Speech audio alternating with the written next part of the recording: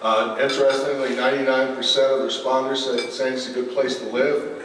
Uh, We don't know who that 1% is, but we have an invitation for them too. 99% says they feel safe living in Sandy, and 97% said they take pride in telling uh, people they live in Sandy. I've been here for a little over 30 years, and I remember for a number of years, when people asked you where you're from, they- you'd say Salt Lake. Uh, People are happy to say they're from Sandy now, and we're pleased with that. Uh, 71% agree that citizens' opinions are considered uh, uh, when we do things. It's, sometimes people come out and don't agree with us, and then they say, we don't agree with you, you're not listening to us, and sometimes the council has to say, we, we're listening, but we just don't agree. So we appreciate the, the fact that people feel we're having feedback from them, and they realize they have input into their local government. Uh, Road improvements was uh, one of the things that, uh, major things that people wanted to see. Uh, I think we asked this question from today, and they say, end of road improvements is what we want to see. But I can, I've said this now for the last year, we get a lot of complaints about it. We have a number of projects that came together all at one time. Now, these projects exist because of our efforts over the last four or five years to see these projects come to fruition. Uh, 13th East was a, is a city road that we didn't have money to redo. We got uh, $22 million of federal funds, $4.5 million of state funds to rebuild 13th East so it functions much better and aesthetically it looks better. The 7th East project is a state road. Um, It's slow. Uh, I don't know if you remember State Street, but that was real slow. Uh, I can tell you a number of road projects that people called us about were frustrated. But once it's over, we will have the best transportation system, uh, road system in the Wasatch Front. And that'll be very helpful moving into the future. Uh, We've got uh, a new, the new interchange at 114 South. I've worked on literally for 18 years.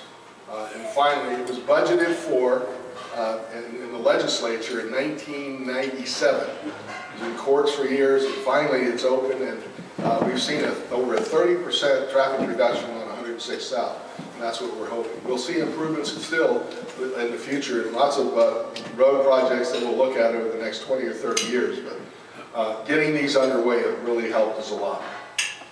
Uh, We're looking at, we we have uh, extended Auto Mall- Drive, which I'll tell you about in a- in a little about, the new developments that we're going to see coming.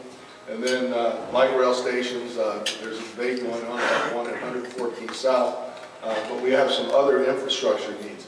There will be a a front runner station just across the freeway in South Jordan uh, from us, and uh, I don't know what that means for any kind of development or anything, but uh, that, that's another form of transportation. The meeting with UTA this morning, one of the things that's hard to look at is what the world looks like 30 years from now. I can go back 30 years in Sandy and uh, could not really project what we saw. I knew Sandy would grow and things would happen, but it's hard to project that far in the future. But if you don't plan for it, uh, it's going to happen anyway, and you're not going to be prepared for it. So we've spent a lot of time planning and, uh, and master planning and zoning and looking at the future, so we'll, we can still accommodate a great quality of life. Economic development has been, I've been criticized for this over the years, uh, having so much uh, emphasis on development, but that's why our property taxes aren't going up, is because the cities are dependent on three things. They're dependent on property taxes, and as I've already said, we haven't raised those. When I moved to Sandy, it was the highest property taxes in the Wasatch Front. Uh, But we haven't raised property taxes. The other are fees and grants, and things that are get, and yes, traffic tickets and things like that. Uh, But that's kind of a combination. The only real major source of income for cities in the state of Utah uh, and for us is sales taxes. Uh, There's a one percent of the sales tax comes back to the communities. Fifty percent of that is point of sale, we get to keep fifty percent, half a percent. And then the other half goes into a statewide pool that's distributed by population. That is your growth opportunity. Our sales taxes are off uh, from 2007, 8, uh, about $3 million. Our general sales tax revenues are about 17 million. They were 20 and growing rapidly.